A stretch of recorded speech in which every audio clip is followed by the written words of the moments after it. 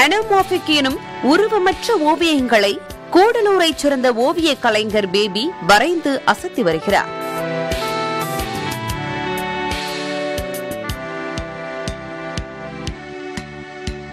நீலகிரி மாவட்டம் கூடலூர் அருகே உள்ள ஐயன்கொல்லி பகுதியைச் சேர்ந்தவர் ஓவிய கலைஞர் பேபி.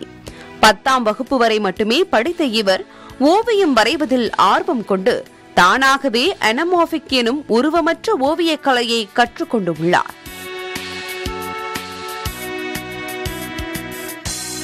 அனமாஃபிக் வகை ஓவியங்கள் பதினான்காம் நூற்றாண்டில் உருவாக்கப்பட்டவை என்று கருதப்படுகிறது. போர்க்காலங்களில் ஒரு இடத்திலிருந்து மற்றொரு இடத்திற்கு ரகசிய தகவல்களை பரிமாற்றம் செய்து கொள்வதற்காக இந்த வகை ஓவியங்கள் உருவாக்கப்பட்டதாக சொல்லப்படுகிறது.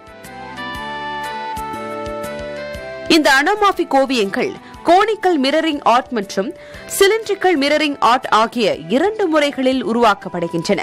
இதில் நமக்கு மெசேஜ் இது பிக்சர் போட்ட மாதிரி நமக்கு ஏதோ லெட்டரும் வேணும் போட்டுக்கலாம்.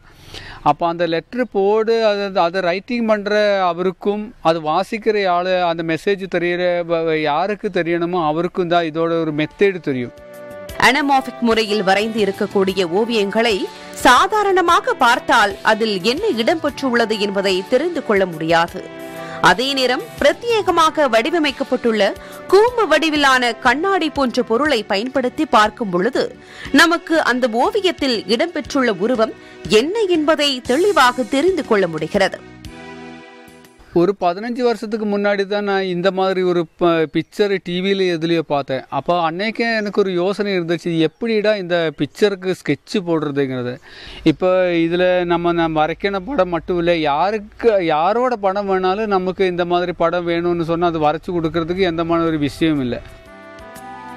சாதனை படைக்க வயதோ கல்வியோ எப்போதும் தடையில்லை என்பதை பேபி போன்றோர் நிரூபிக்கின்றனர் என்றால் அது மிகையல்ல. புதுயுகம் செய்திகளுக்காக செய்தியாளர் குழு.